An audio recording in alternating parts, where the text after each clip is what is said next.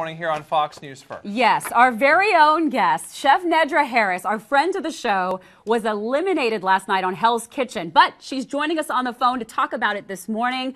Nedra, what happened? Oh, Monica, oh my gosh. You know what? Out of both teams, I'm the only one who stepped up to the plate. All the girls say, hey, I'm going to step up, I'm going to step up. But you see who really stepped up, and it was me. You had a great run, Nedra, and we've had so much fun with you on the show, and hopefully we'll continue to have you here uh, on. Can you look back now and tell us, uh, now that you can tell us the secrets and the insight, uh, talk about your run on the show and, and what's going to happen to you now? Um, well, um, going through that trial period, I was going through a lot. I was sending my sister um I was doing a wedding. I was standing in her wedding. I was the maid of honor. So you know that's a big duty to do. And that's my twin sister. So I was going back and forth in this pro- process of even being on Hell's Kitchen and flying from Detroit to LA. So, you know, it was it was something really um crazy that was on my plate at that time.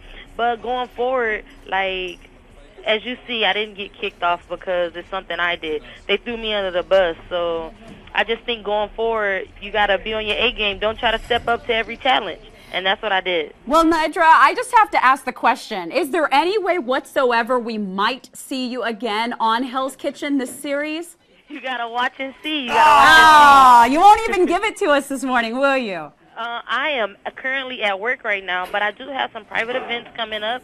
I have some charity events coming up, and um, you can find more about me on ChefNedra.com.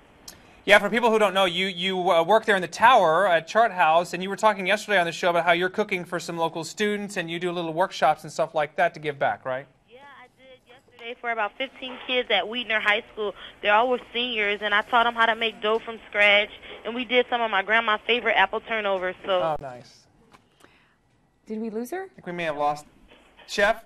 Hello? Yeah, oh, okay. We're, okay. we're hearing you. Okay, you, we lost you at Apple Turnovers. Yeah, um, I did the, um, Apple Turnovers with the students yesterday at Wheatner High School. So I showed them how to make some fresh dough from scratch, and they're very excited. So I go back next month um, right before school let out and do a couple of more demos with them. Oh, and I know you're going to go to my alma mater, Judson High School, soon too, right? Yeah, Judson High School to do a, a motivational speak, uh, 200 um, guests.